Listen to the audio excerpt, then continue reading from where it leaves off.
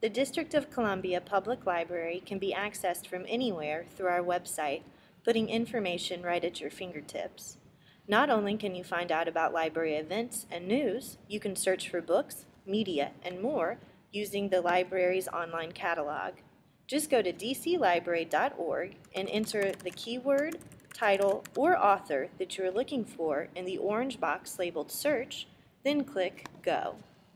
Once your results are displayed, you can browse through them in the middle of the page, or you can limit the total number of results by using the options on the left.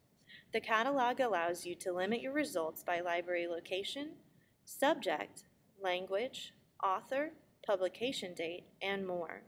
Once you have found a book that interests you, select it by clicking on the title. The detail box will appear, providing you with more information about the book that you have chosen. You will see a list of available copies in order of library location. When applicable, this box will also include a summary of the book, reviews, table of contents, and reading recommendations.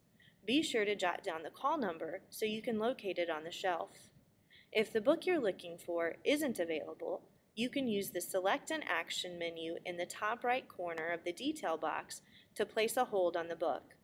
You can also use this menu to add a book to a list, email or text it to yourself, and print the detailed information in order to find it later on. Whether or not the book is available, you can place a hold to have it sent to another neighborhood library free of charge for your convenience. If you ever need to return to the library's main page, just close the detail box and then click on the big L in the top left corner. Don't forget you can always rely on the DC Public Library to help you find trustworthy information. Thanks for watching this video, and we hope to see you soon.